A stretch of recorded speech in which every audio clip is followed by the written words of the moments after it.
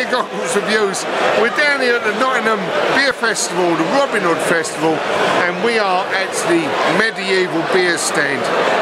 Um, I've got one here. Um, it's a, another strange one. Not, I'm, I'm going for strange today. I can't help myself.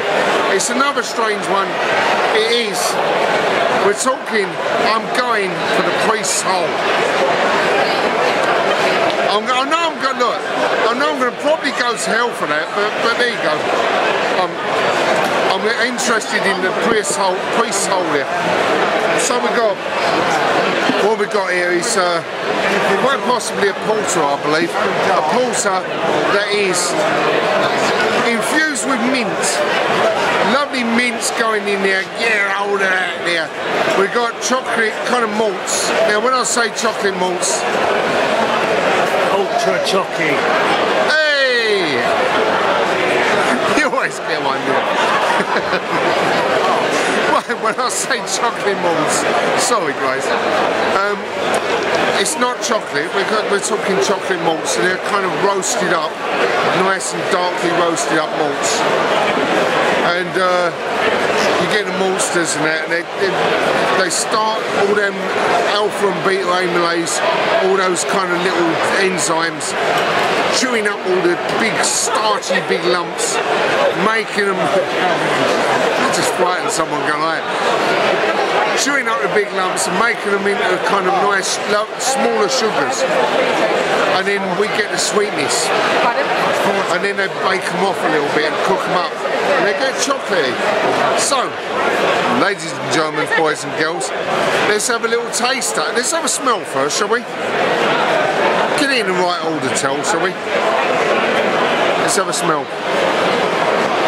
Now on the bugle, straight away, after eight mints, that's about all I'm getting, after eight mints.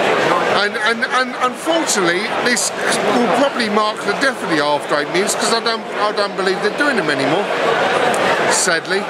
Because that was the highlight of your meal, you know, especially if it's uh, coming up to eight o'clock, you know, and you finished meal at eight o'clock and you went, get an after eight mint out, that's just when we need it. So let's have a taste. Cheers.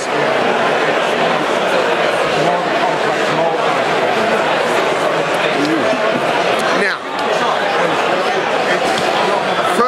first the mouthfeel is a little bit thin. A little bit thin on the mouthfeel, but making up for that, you've got big kind of yeah, big kind of um, minty presence coming in.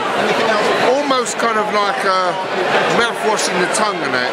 Coming in really nice, but it's not coming in on his own. He's got the big old chocolatey notes coming in there as well. Nice chocolatey background notes as well. That is quite lovely. It's very strange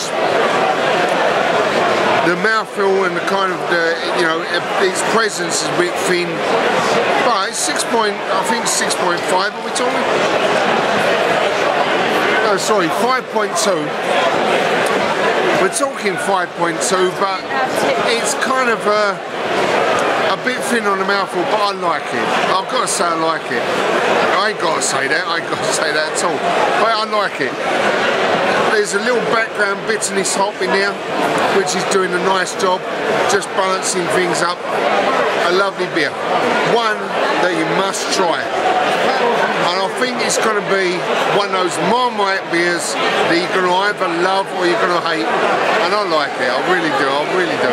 Lovely beer cheers everyone see you next one don't be late I'll start about you